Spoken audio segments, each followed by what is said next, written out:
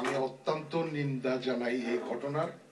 এবং আমার বিশ্বাস থাকবে আমরা সবাই একসাথে কাজ করব until it is resolve community হিসাবে বলতে চাই যে এই যে ঘটনা ঘটেছে সেটা নিন্দনীয় এবং এটা ইমিডিয়েটলি রিজলভ হওয়া দরকার।